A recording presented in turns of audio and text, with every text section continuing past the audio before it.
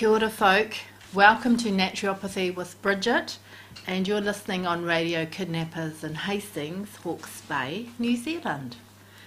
I just want to say thanks for taking time out to um, out of your busy day to listen to my recording um, right here on Radio Kidnappers and I really appreciate you. I've been having some good feedback lately so keep listening in folks for your natural health tips here. I am a qualified registered naturopath and medical herbalist, and I have my natural health clinic, Maintaining Your Health, Whakatikatika Oranga, based in Napier, Hawke's Bay, New Zealand. I offer a free 15 minute chat to see how best I can help you find a solution um, to your mental and physical imbalances and I do this by using um, herbal medicine, nutrition. I'm a qualified nutritionist. I use vitamins and supplements. And um, if I think you need some reflexology, which is working on the feet, or lymphatic drainage, I'll offer those for you as well. So it's a holistic package. It's all in one, one stop shop here with Bridgitt. So you can contact me on 027 284 3781. Right here at the radio station, Jill can, can pass you on to me. I have a Facebook page. I have a um, website page, www.maintainingyourhealth.co.nz.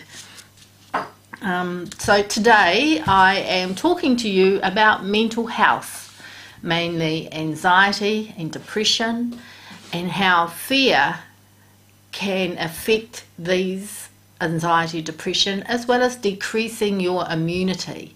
So that's my chat today, and um, stay tuned for tip of the day. Um, hopefully, Ken will prompt me there, which is really helpful, especially today.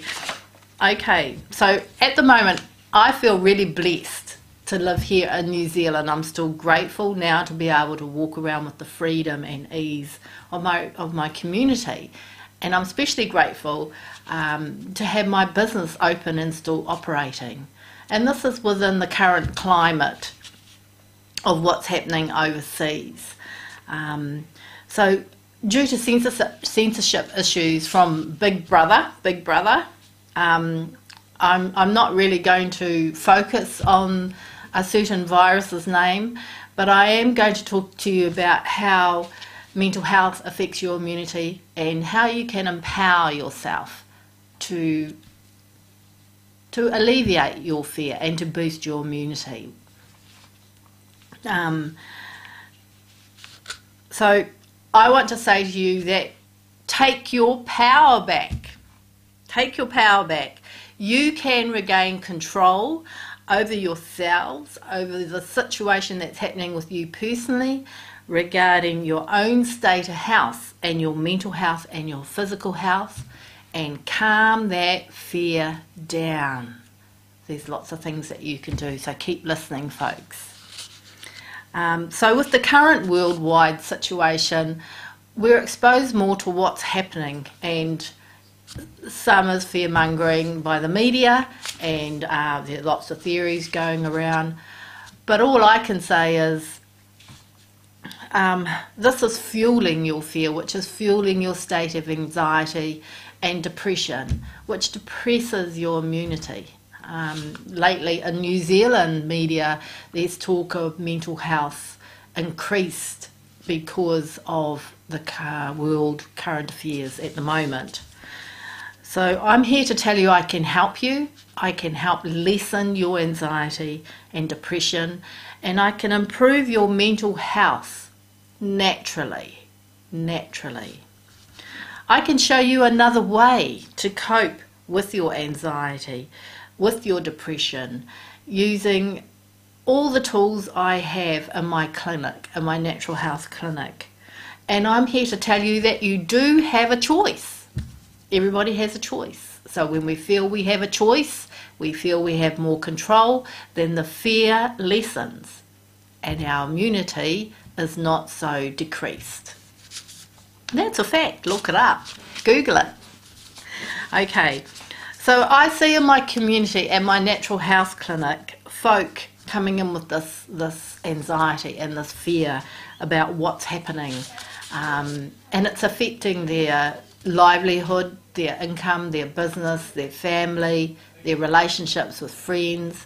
But it has a ripple on effect into their physical body which then um, decreases the immune system. And I'm repeating that a lot because it's important that you hear those words decrease the immune system.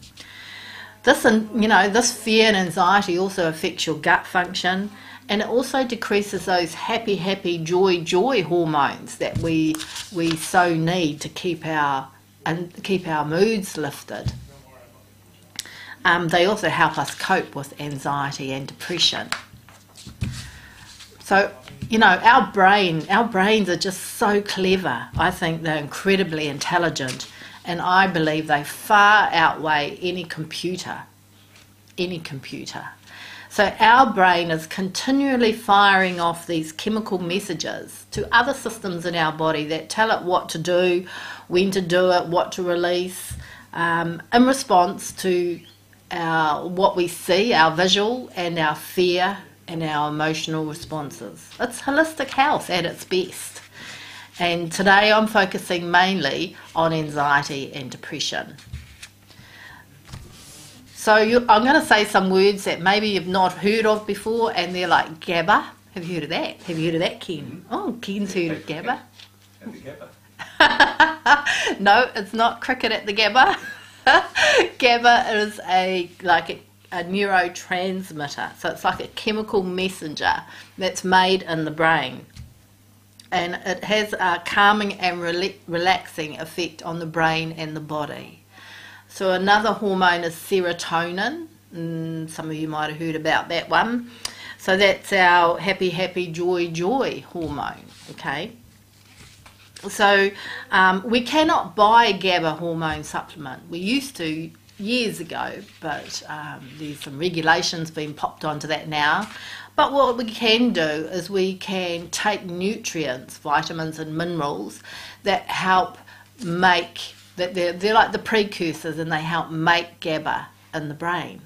Um, so rather than buying a bottle of this, a bottle of that, bottle of that, eating ending up with about six bottles, um, if you want to chat to me, um, I can help you find a quality practitioner supplement um, that contains all these in it. And it's a powder form, you just mix it up in, in water or put it in a smoothie, knock it back, off you go. Calm, calm. Ken's laughing, calm, calm. So it's called Calm X actually. Who knew, right? So you, if you want to know more about that, give me a ring, text, or email me. So um, serotonin hormone um, is made in the gut. Who knew? Who knew that, right? So about 90% of serotonin hormone is made in your gut. Um, so that's really important to keep your gut happy.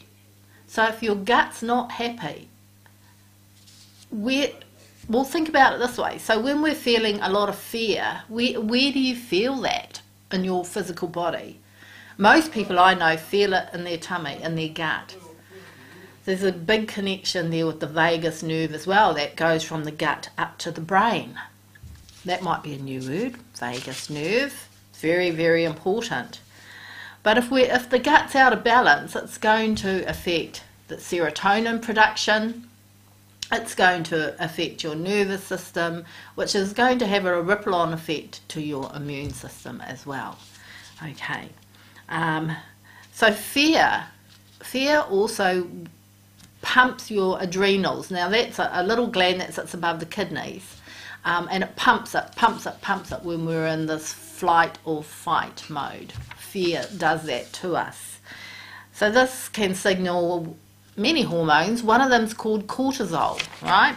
So cortisol can go up. Um, continual pumping of these adrenal hormones, these adrenal glands, can also cause the cortisol hormone to deplete. So it can be extremely high or it can be extremely low.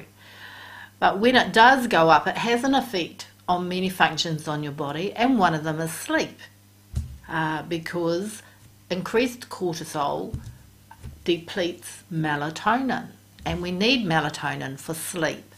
I don't know if you've heard of that word before, but that's a sleep hormone.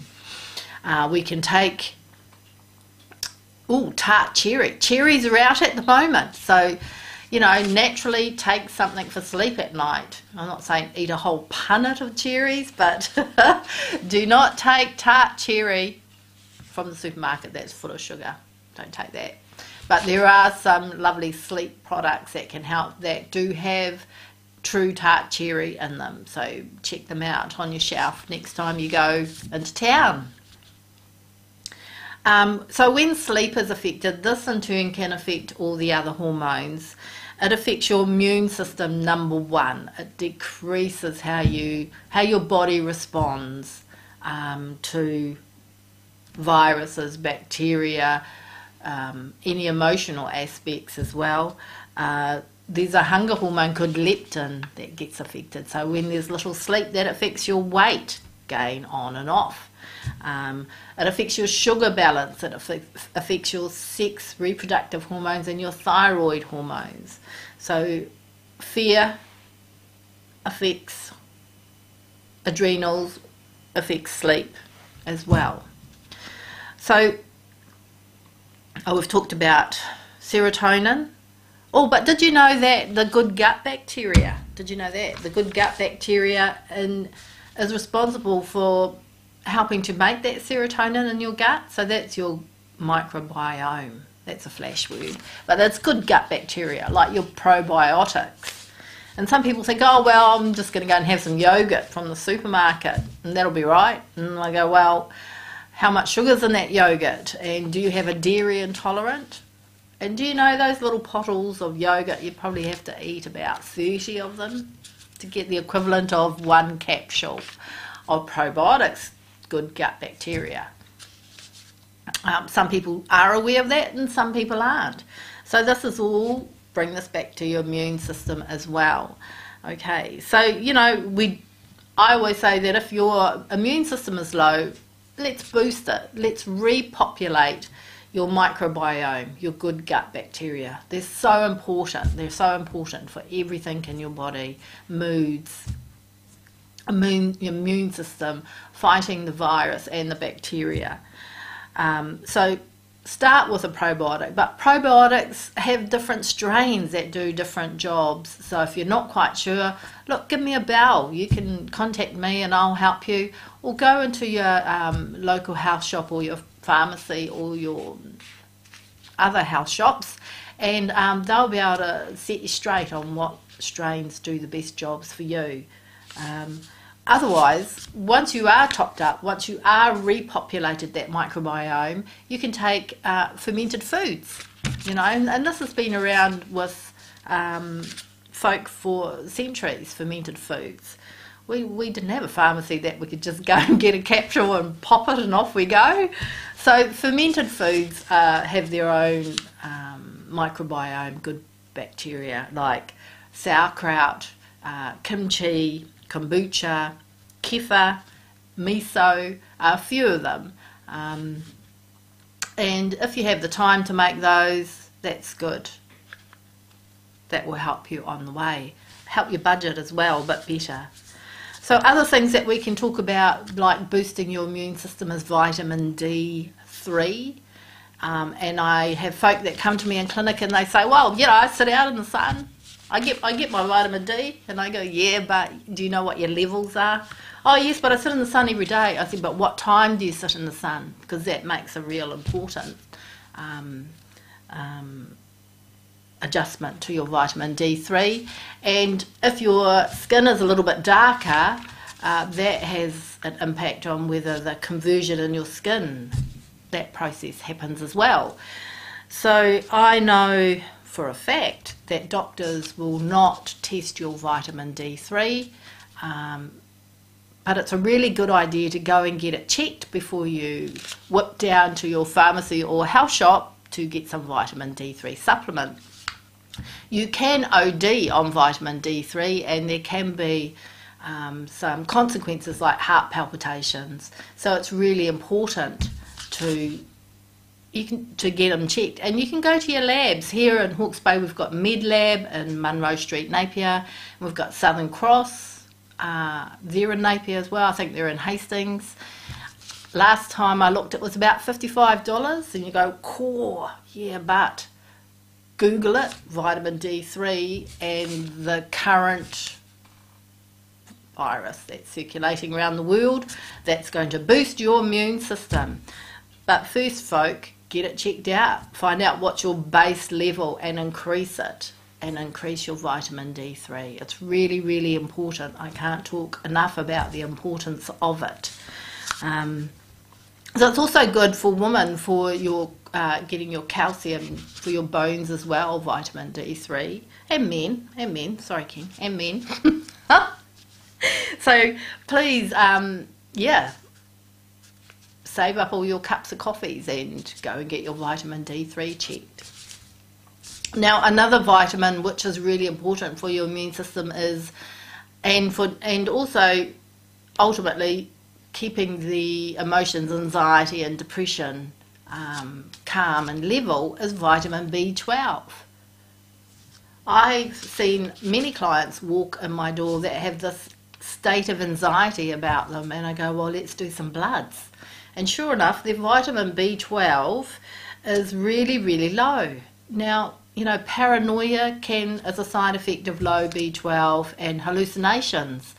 So, hmm, rather than being medicated, how about getting those checked? Vitamin D3 and your B12. That's quite important. Um, now, zinc. Oh, I've talked about zinc before, but zinc is another really good virus, uh, virus, vi- immune um, boosting, um, and it's blocking the bacteria and virus from multiplying. So, zinc, you can have pumpkin seeds, you can have uh, seafood, but pumpkin seeds are pretty good. Or, you know, these nutrients are in that uh, Calm X product I talked about earlier. If you don't want to eat foods that contain zinc, you can pop a pill, pop a pill if you're busy. Um, herbal herbal medicine, like I'm a medical herbalist, so I I promote herbal medicine in my clinic for calming anxiety and depression, and also for boosting the immune system currently I have on my web page under health articles, I think it is, if you go on and have a look, I've got some a big list of immune herbs there and what they do and how they can help you. Um, so some of them are like echinacea. Oh, but please contact myself or another health practitioner to check contraindications if you are taking medication or if you are pregnant uh, because it's really important to check. Okay, so echinacea, and angustifolia or purpurea, or, or combined, it works really well combined. That is your natural antibiotic. That's been around for centuries. Taking some of that, either in remedy, pill, or herbal tea, is going to help boost your immunity. So another one, another natural antibiotic is garlic. You know, we can start adding that more into our um, into our daily foods. Of course, when you cook it, it does change its medicinal effects. So other herbs are andrographis, elderberry, olive leaf, thyme. You can grow thyme in your garden as well. Thyme. Um, manuka honey is really quite good as well. You can add manuka honey and thyme into a jar and just let that steep in, in a cool cupboard.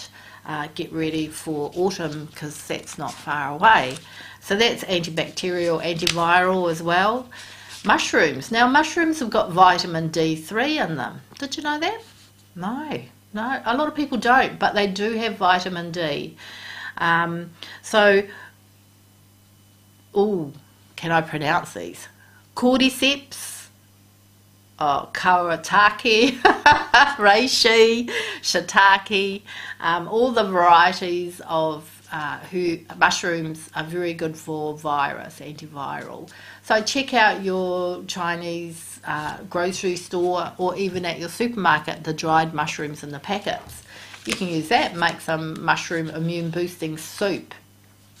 So vitamin C, don't forget vitamin C with the bioflavonoids is very good for boosting your immunity. So these, by boosting your immunity, it helps your anxiety, it helps your depression as well. Um, so bioflavonoids are what we call the PITH, P-I-T-H, PITH. Okay, so that's the white stuff directly under the skin when you peel it off. So those are called the bioflavonoids, and they're really important to eat with the citrus fruit. That's your vitamin C. Of course, you can get it from um, berries, parsley, as well. Broccoli, kiwi fruit are very high. Um, there's also lovely calming um, herbs for anxiety and depression, and I have these in my clinic in herbal tea or remedy or capsule form.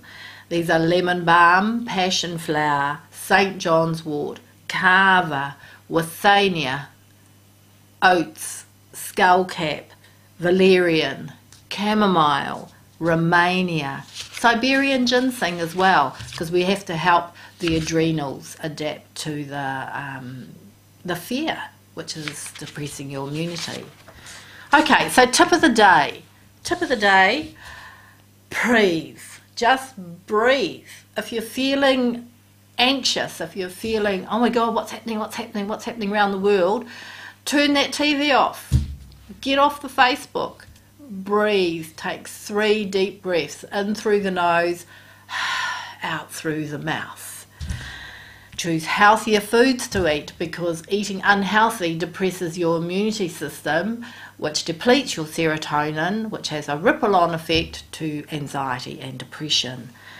Reduce your alcohol, reduce your caffeine, reduce your processed foods, drink more pure water, move your body, turn some music on, have a bit of a dance in the kitchen, go for a gentle walk, move your body, move your lymphatic system around, which is part of your immune system. Um, so so, folk, if you think that you might like more information or more help on balancing your mental health, anxiety, and depression, I'm here to help you naturally with herbal medicine, nutrition. Um, yeah. So, stay kind, stay safe to stay safe, and um, kia ora. Have a good day.